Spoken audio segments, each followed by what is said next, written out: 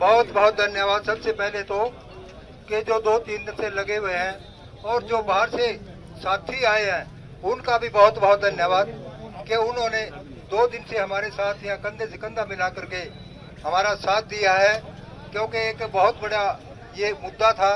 मुद्दा तो वैसे काफ़ी बड़ा है, आज भी सॉल्व तो ये छोटा सा ही मुद्दा हुआ है, लेकिन जो बड़ा मुद्दा है एमएसपी का वो अभी भी बाकी है। लेकिन उनका बहुत बहुत धन्यवाद है जो साथी काफ़ी दूर दूर से चल के आए। यूपी से, राजस्थान से और पंजाब से और अपने राजस्थान से।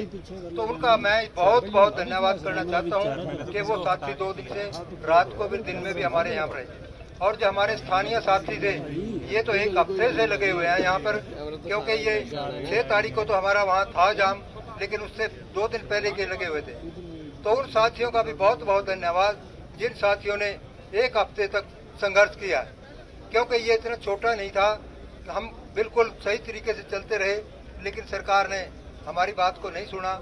आज आप सभी लोगों की कृपा से, आप सभी लोगों की मदद से हमारी मांग जो थी, उसको आज सरकार ने डीसी साहब के माध्यम से मान लिया है।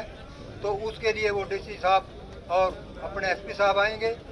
तो उसके लिए आप सभी का ज़्यादा ना कहता हुआ क्योंकि मैं तो सिर्फ़ इसलिए बोल रहा हूँ कि जो सभी साथी अपने हैं। उनका धन्यवाद।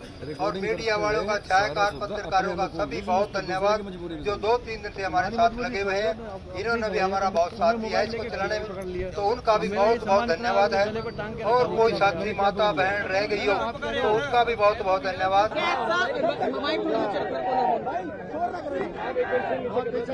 दो दिन तक लड़ाई लड़ी। क्या कुछ फैसला लिया है देखो फैसला ये लिया है हमारा यहाँ पे ये आंदोलन था कि एमएसपी पे खरीद शुरू हो। हमारा था कि एमएसपी पे खरीद शुरू हो और हमने वो रेट मांगा है जो देश के प्रधानमंत्री ने रेट कहा।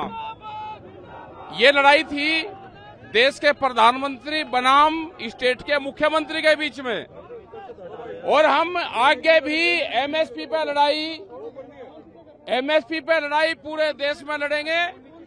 और लड़ाई को लेकर चलेंगे, प्रधानमंत्री को आज्ञा करेंगे। जो प्रधानमंत्री का रेट है, वो हर स्टेट में देना पड़ेगा। प्रधानमंत्री का रेट है, वो देना पड़ेगा। भारत सरकार का रेट है एमएसपी वो देना पड़ेगा और एमएसपी गारंटी कानून के लिए बड़े आंदोलन की ज़रूरत पड़ेगी। ये बड़े आंदोलन की ज़रूरत शुरुआत यहाँ से हुई है। जाम जाम आज खुल जाएगा। वो इनकी प्रक्रिया है, कोर्ट की प्रक्रिया है, एक दो दिन में वे आ जाएँगे। आंदोलन समाप्त हुआ है। गेट यहाँ पे रास्ता सब चल जाएगा। तूफ़ान भी आ गया। तूफ़ान आ गया किसानों का तूफ़ान है ये।